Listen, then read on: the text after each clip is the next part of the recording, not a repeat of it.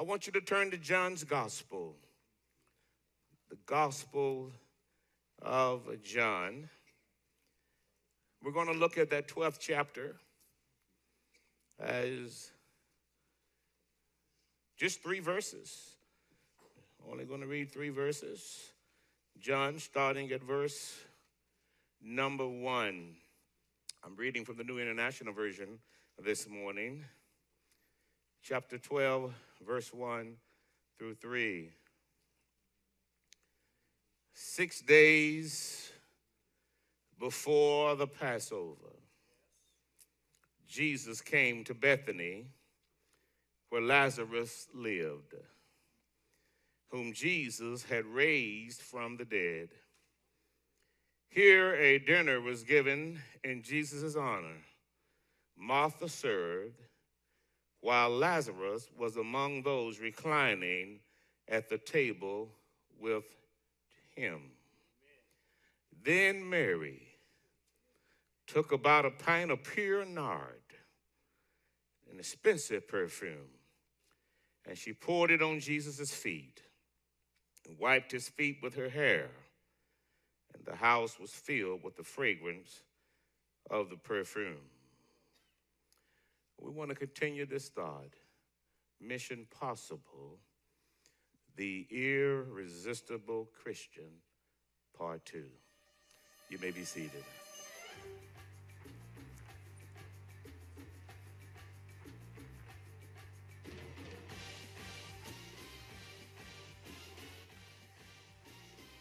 Your assignment, should you take this task,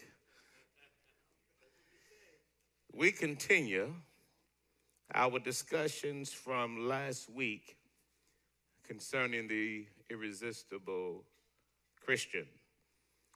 We've had four prongs to this message. We serve an irresistible Christ who has given us an irresistible charge. And we want to become an irresistible church. But to do that, we need a conglomerate, the gathering of irresistible Christians. I started dealing with this irresistible Christian last week. If you missed last week's sermon, I think that's one sermon you want to hear before you go to heaven. Last week's sermon, I took the an analogy of Dr. King's life and I used him as an object lesson that we might see some of the traits of what it looks like to be a irresistible follower of Jesus. I used Dr. King because he and so many others made the ultimate sacrifice and gave his life that all men might be free. But today I want to look at a different kind of sacrifice, one that is also important in the life of the believer. Our story starts in this 12th chapter of the Gospel of John. We find a woman by the name of Mary hanging out with a man named Jesus. Now, this man, Jesus, had raised her big brother Lazarus from the dead one of the most amazing miracles in all of Scripture. Lazarus had been dead for three days. Matter of fact, when he went to the tomb, they said, Jesus, there's no use. He, he stinketh, for his body has decomposed. And they tell me that Jesus went to the tomb and called out Lazarus. And when he called the name Lazarus, that something started moving in the graveyard. Amen. And uh, the old the old saints would say the reason he had to call Lazarus' name because if he had said come forth, everybody would have got up. That's how much power Jesus has in his words. And so he said, Lazarus, come forth. And so we see Mary here, his little sister, is so grateful that she wants to be a part of this story. Look at verse 3 of our text. It says, Then Mary took about a pint of pure nard, an expensive perfume, and she poured it on Jesus' feet and wiped his feet with her hair. That is an amazing moment. And wiped his feet with her hair. Amazingly, this is the second time in Scripture that we witness an unusual encounter between a woman, a perfume bottle, and a Savior. The first of the two encounters takes place in Luke's Gospel, Luke's Gospel, chapter 7. This is at another man's house, a Pharisee named Simon. Now, when you look at this first encounter, you, some get them confused because the, the, the same thing happened, but it's two different events where you had a woman, a perfume bottle, and Jesus. There's a lot to unpack in this Luke passage because Jesus is hanging out with some strange folk. There's a woman there in this first encounter in the, in the house by the name of Mary Magdalene. You all have heard of Mary Magdalene. Now, now there, there, there were so many Marys associated with Jesus that they had to, to put her hometown at the end of her name. It's like Mary of Magdala. She was from a little town called Magdala. And so they said there's so many Marys. His mother name was Mary. And for us to distinguish which Mary that he's talking about, they said, well, this is Mary Magdalene from a town called Magdala. The amazing thing about this particular Mary is that she was once a prostitute. Ah, but that's not all. The scripture tells us in Mark's gospel that this sister girl had been delivered not from one, not from two, but from seven demons. In other words, before she met Jesus, she was full of the devil. Uh, that's Mary Magdalene. But that's not all. This ex prostitute is chilling out with Jesus at, of all places, a Pharisee's house. Now, wait a minute. That's not all. Because the Pharisee used to be a leper. What a crowd. An ex prostitute and an ex leper and a used to be dead man. All hanging around Jesus. Anybody glad that Jesus would always show up in your storm? No matter what you used to do, what you used to be, Jesus would always show up in your situation. Hey, he healed and delivered them. And, and, and Jesus, Jesus shows his power here in this Luke's passage and in this John passage. Well, how does Mary Magdalene respond to her deliverance? She pulls out a bottle of expensive perfume, pours it on the feet of Jesus, and wipes it up with her hair.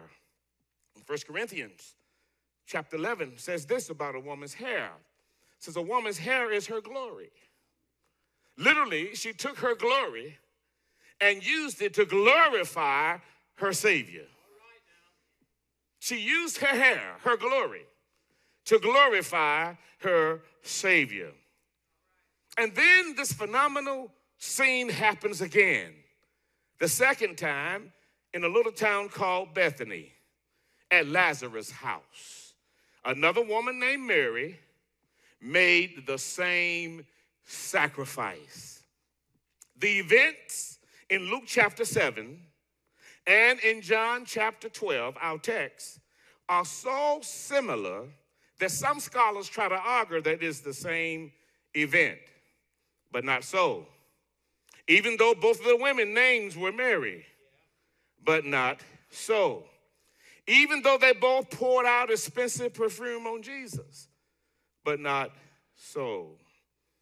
I offer to you today that one of the characteristics of an irresistible Christian is that your sacrifice, your offering, will influence others to do the same for the kingdom. In the words of Pastor Dave Ferguson, the author of the book Hero Maker, he says, an irresistible Christian, my word, ought to see their fruit on someone else's tree. Could it be that Mary of Bethany was either there or heard about Mary of Magdalene and what she did to Jesus. And she was so impressed with the anointing of Mary Magdalene that Mary of Bethany, here in John chapter 12, replicated what Mary Magdalene did in Luke chapter 7. I offer to you that no matter who you are, somebody is watching you. Somebody is learning from you. Somebody is going to replicate or duplicate how you handle things in the kingdom. She saw Mary Magdalene make this great sacrifice, and she too said, I want to bless the Lord with a sweet smelling sacrifice. That's what an irresistible Christian does. He or she walks among people in such a way that others want to emulate you, that others want to praise God like you, that others want to handle situations like you do. That's what being an irresistible Christian is all about. Mary Bethany, Mary of Bethany, heard or saw Mary of Magdalene and decided she too will follow her lead. Somebody is watching you. And how you handle your life will determine whether or not they feel like they could duplicate or replicate what you do for the kingdom. I got a call this week. I thought was a rather unusual call from a pastor who is suffering from a very rare illness in our city. And I got this call, I got this text message from him, and the things he said to me, I thought maybe I had the wrong number when I got the text. Because he was sharing how much he loved me and how much he admired this preacher. And, and I went to my wife. I said, so, I said, honey, listen I said, you know, I didn't know I was that close to him. I didn't know that. I didn't know that I was impacting his life like that. And so I said that to say this is that you never know who's watching you. And people, people, people have an affinity to you that you have no idea they have an affinity to. That's why it's so important that we stay prayed up that we continue to grow spiritually in the things of God so that we won't disappoint people when they need something, they need a light to look at. They don't have to go far because there you are.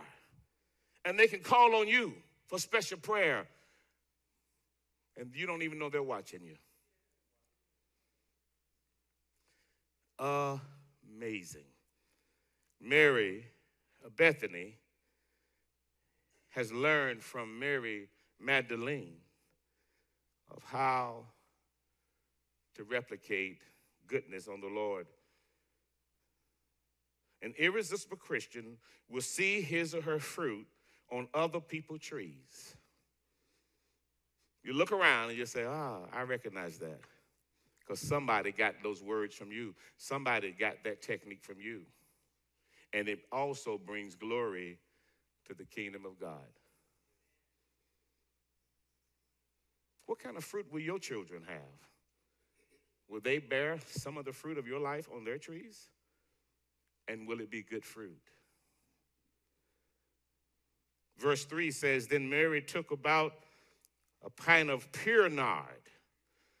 I like that word pure. There were no ingredients adding, it was pure nard an expensive perfume. And she poured it on Jesus' feet and wiped his feet with her hair. And the house was filled with the fragrance of the perfume. The same thing happened here in Lazarus' house that happened at the Pharisees' house in Luke chapter 7. Right here in John chapter 12, Mary of Bethany duplicates the same thing. And so as I look at this text, I begin to see, and then we, we gave you all a little book when you uh, earlier in, this, in the day, I, I begin to see some what I call some treasure principles in the text. Number one, why would Mary do such a thing?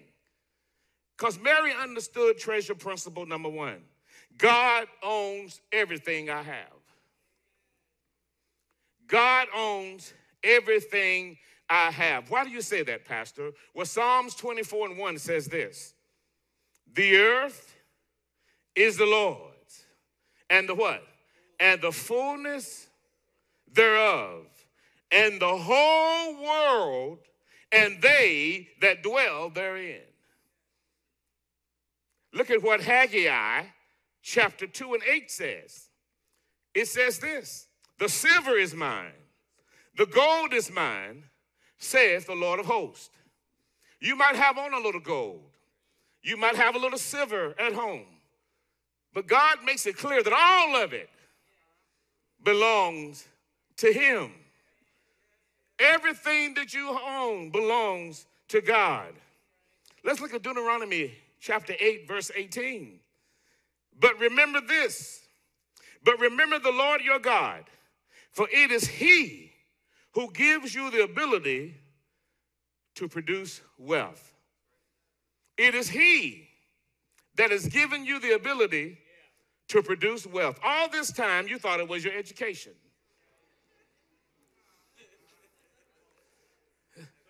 All this time, you thought it was your, your, your talent.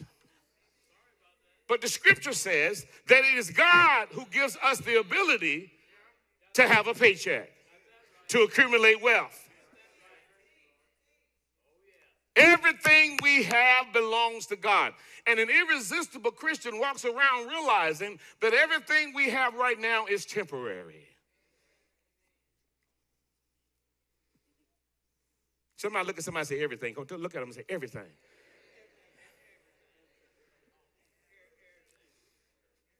My father would own the glory, but he left me his, his, his, his, his gold ring because he, was, he, he couldn't take it with him.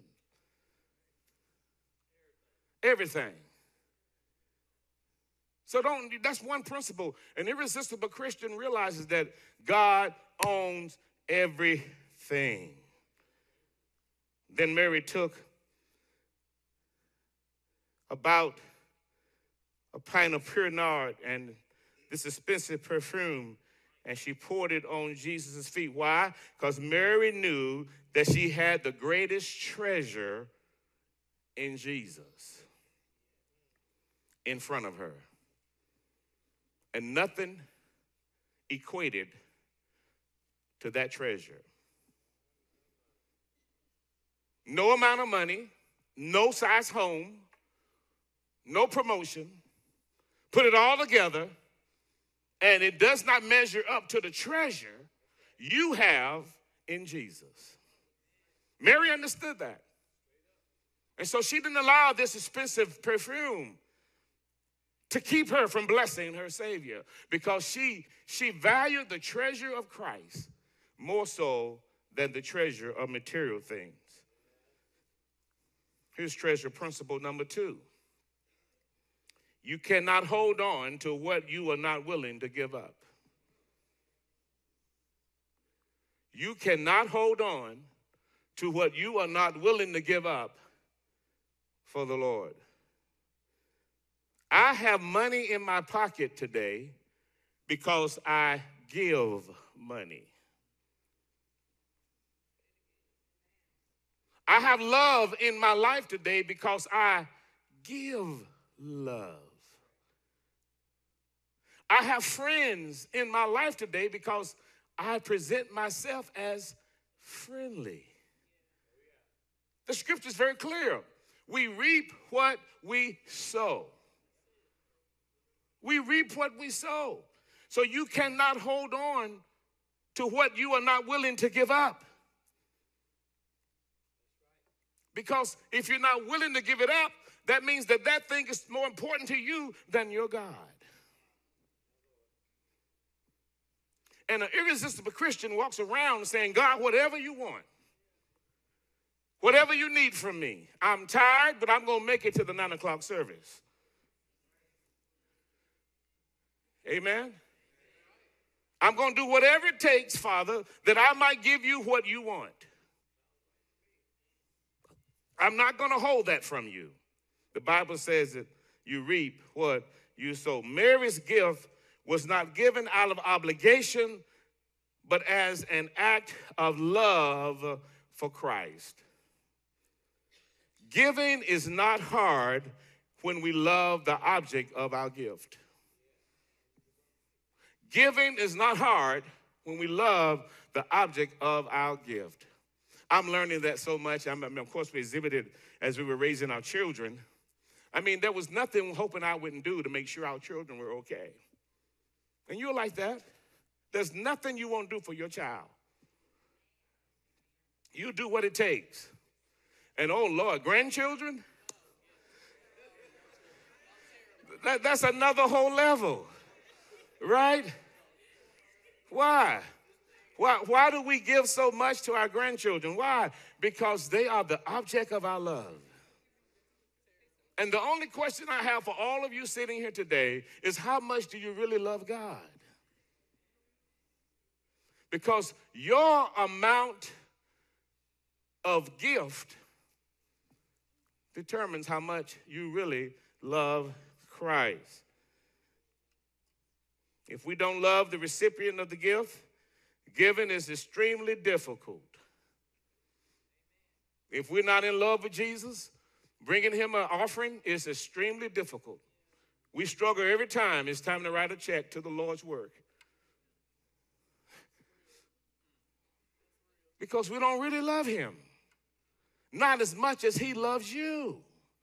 Because he gave everything that he had that you and I might have a right back to the Father. Amen. The, the quint- quintessential ingredient in stewardship is possessing a proper motive. That's the crux of what we do, is having the proper motive. My motive for giving to someone is that somehow they might see Christ in me. That's my motive. My motive for being here today is that Christ may, may count me present because I love him, because he first loved me. So remember, you cannot hold on to what you are not willing to give up. I see that in this text. Mary gave up all she had there. Look at treasurer principle number three. Giving God what he wants does not always make sense in the natural. Giving God what he wants does not always make sense in the natural. You've heard me share these points before. Mary did not go into her chest and grab a cheap perfume that she got from hotperfume.com.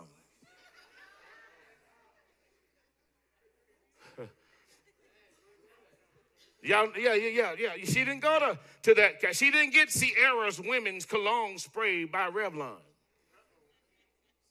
or Pleasures by Estee Lauder.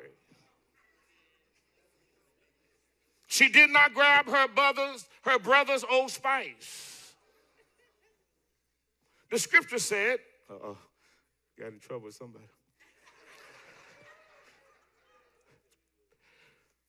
The scripture says she grabbed an expensive bottle of perfume.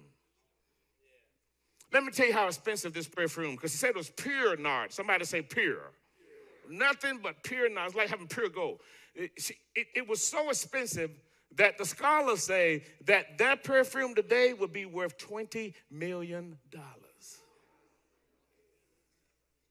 That's how expensive that pure nard was. It was a whole paint of it.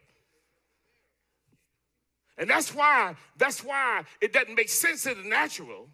That's why she got some complaints from the people in the house when she took and broke that bottle of expensive perfume and poured it on Jesus because it just doesn't make sense in the natural.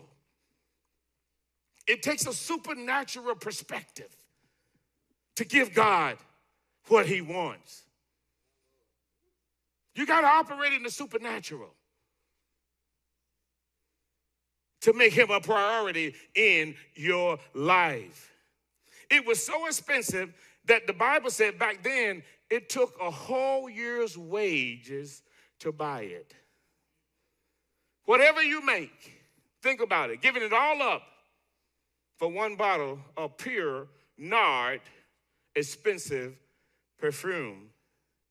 And then to take it and pour it, not waste it, but pour it on Jesus. It didn't make sense in the natural. Why would you do? Why would you, according to, to, to the human mind, the finite mind, why would you do something that doesn't make sense? Look at verse 4. Look at verse 4. It says, But one of his disciples, Judas Iscariot, who was later to betray him, objected. This is verse 4, John chapter 12.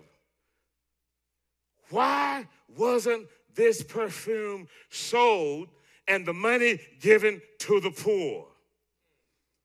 For it was worth a year's wages. Why would you do that, Mary? We could have used that to feed the poor. Go to the next verse.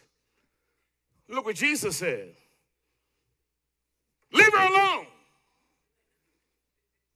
Leave her alone. Jesus replied, It was intended that she should have this perfume for this day of my burial. Look at what that says. The reason that she has this blessing is that she might use that blessing for this day down the telescope of time. Could it be that you got that promotion for something that God wants you to do today? Could it be that God gave you that house today because He wants to do something through you today? Can you read it with me again? Leave her alone. It was intended that she have this blessing and that she save this perfume for the day of my burial. You will always have the poor among you. Verse 8 you will always have the poor among you, but you will not always have me. Can I, can I, can I rephrase that for us? We won't always live on this earth. We must work while it's day, for night cometh when no man can work. And so while and Jesus said, no, no, wait a minute, you, you're going to always have the poor, but you're not going to always have me. And the reason she was blessed with this is that she might use it for this very purpose. Wow.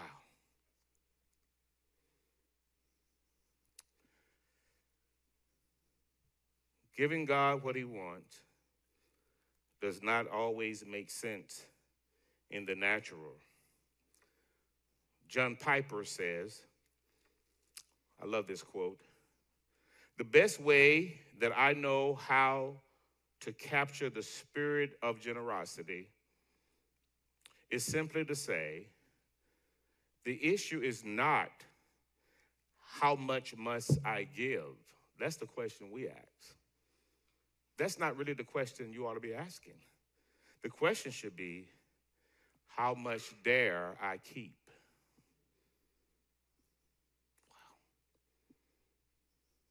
How much of what God has blessed me with, because everything belongs to Him, how much should I just use for me?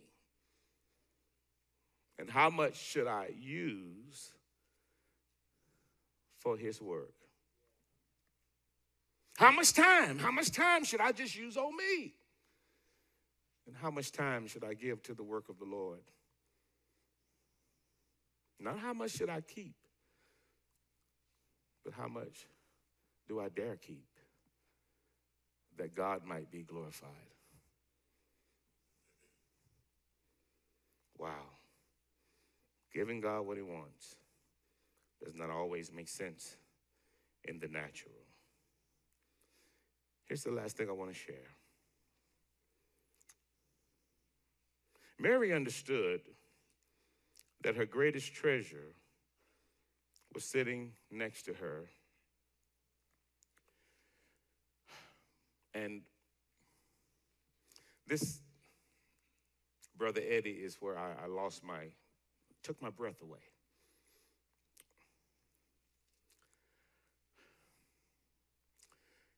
I started thinking about what would it be like sitting with Jesus in your living room?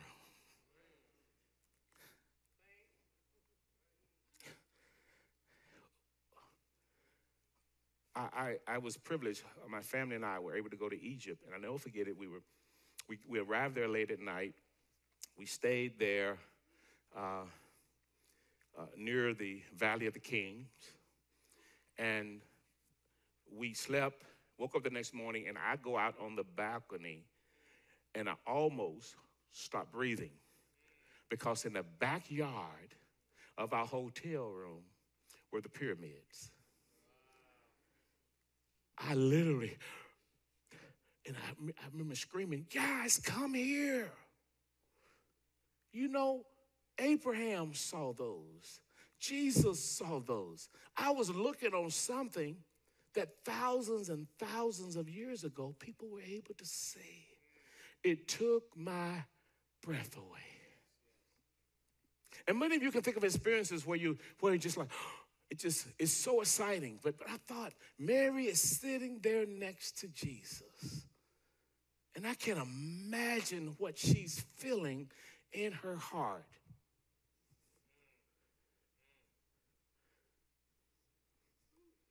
I mean, you all get excited if, if your favorite singer walks in the room, screaming and hollering on top of your voice. But can you imagine sitting in the room with Jesus, you and him? It, it, just takes my breath away. And so I think Mary said, you know what? I'm going to give him my best. So here, here it is. Here's principle number four the heart of the giver determines the action of the giver. Where your heart is will determine your action. Now, if I walked out that balcony and I said, Oh, yeah, that's just the pyramids, I've seen it a million times. But for me, that was one of the most extraordinary moments in my life. And so your heart will determine your action, right? That that's why Mary had no bars. She she she just did whatever it took to anoint Jesus. Forget about tomorrow. Matter of fact, if you look at verse 1 of chapter 12, it says, and the six days before the Passover, which meant she kind of understood what he was getting ready to do, and most likely he would not pass this way again. And while he's here, while I'm here, I'm going to give him the best that I've got. See, we, we think, yeah, this is second Sunday. We assume we're going to be here third Sunday, but I came by today to tell you on my way to heaven, don't ever hold your praise because you never know if you're going to have another Sunday. So you got to, right now, while you're here, you've got to make sure that you're putting your hands together and giving God a praise because this could be the last time you come this way oh my gosh, she's sitting there with him and she's thinking, oh my Lord, he's right here in my living room. And he gave me back my big brother. I'm giving him the best that I've got. I was told that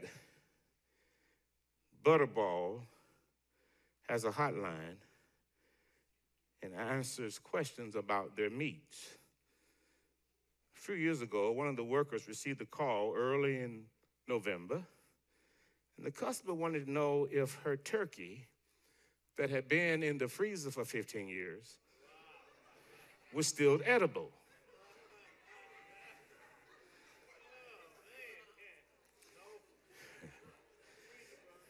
So the, the gentleman for the Butterball Company said, Hold on, ma'am, I gotta go check this out with my supervisor.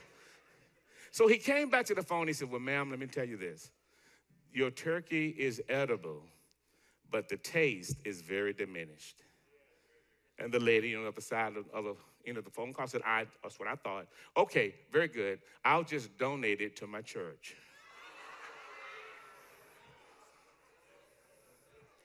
Now, is that giving God the best you got? Why do we do God like that? If it's not good enough for you, why is it good enough for God? Amen. Give God something of value. Give him something of value. Give people something of value. I've seen some of you, I've, I've watched you, some of you. Yeah, I've watched you on your way in.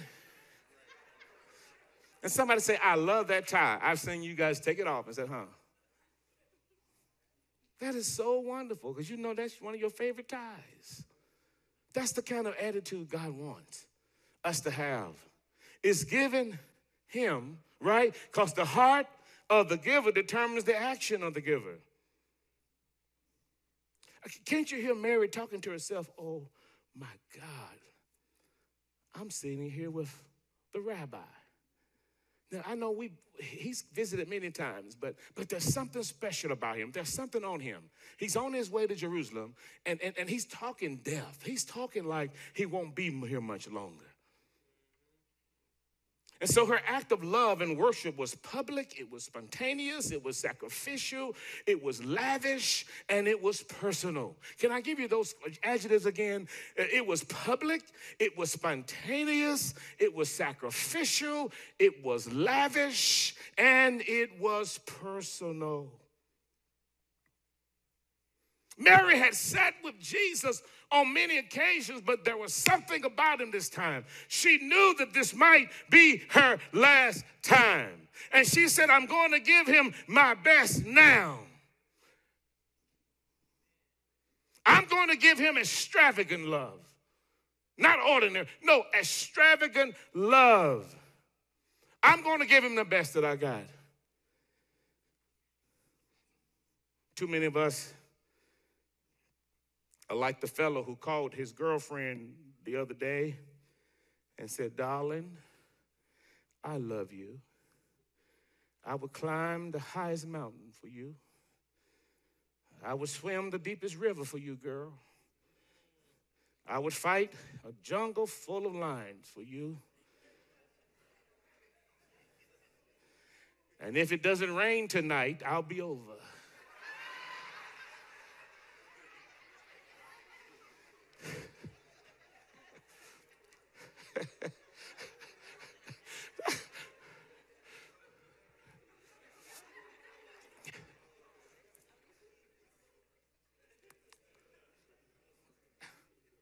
Is that how we treat God? We got all this talk but no walk.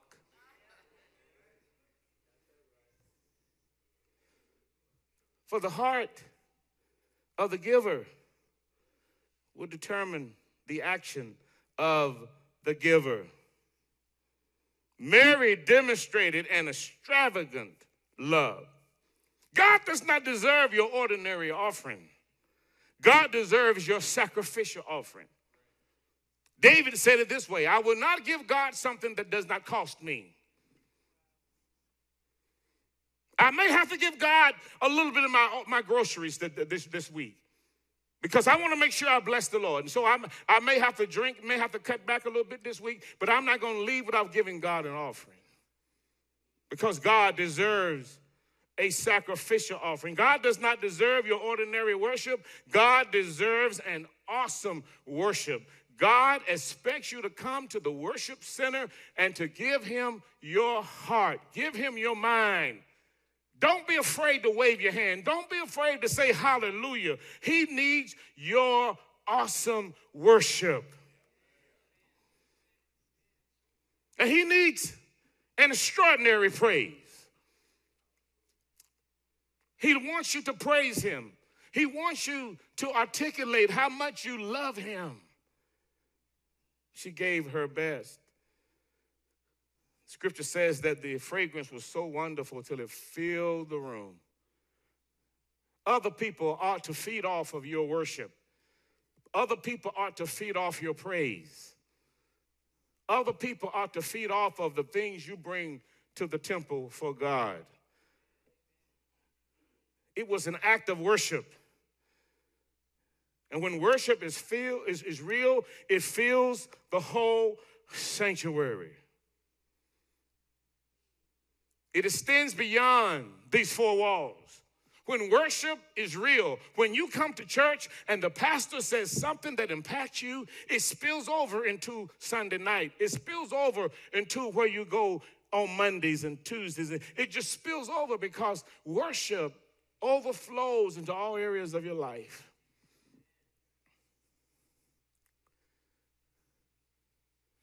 Because the heart of the giver will determine your action today. When she untied her hair, something Jewish women were not supposed to do. She untied her hair, humbled herself, got on her knees, and laid her glory at his feet. She said, I don't care what others think. Criticize me if you will. But he's worthy of my glory. See, the devil will always try to keep us from going that next level with God. When you look at that text a little closer, Judas Iscariot wasn't concerned about the poor. He was upset that that money did not go into the treasure so he could take some of it. See, the devil's always trying to discourage us from going to the next level.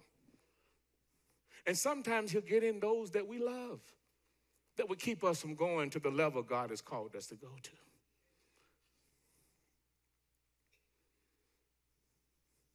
But she said, He's my Jehovah Yahweh, my everlasting God. I'm going to give him my best. He's my Jehovah Rapha. He is our healer. Look at my brother sitting here. I'm going to give him my best. He is my Jehovah Shalom. He brings peace into my life. He is Jehovah Nissi, my protector. That's who he is. And that's why we must give him our very best. He gave us his best, and we need to give him our best. That's what an irresistible Christian does. He understands, and she understands, that these principles are so, so critical for us to follow. Let's pray.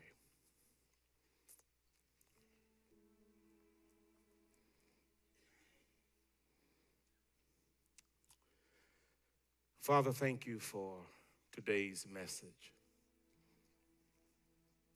Thank you for the reminder that everything we have belongs to you. That everything that we use today is temporary. And that while we are in relationship with you,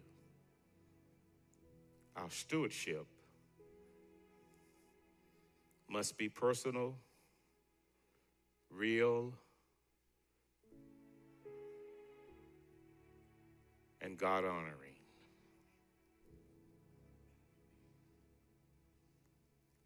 You want us to give you our best. And no matter what season of life we're in right now, you want our best. God, thank you for giving us your best. And because you gave us your best, we have a home not made by man. We have a, a second treasure. Yes, we have a treasure in your Son, Jesus, our Savior, but, but we have a second treasure, and that is heaven awaits each and every one of us that have accepted your Son.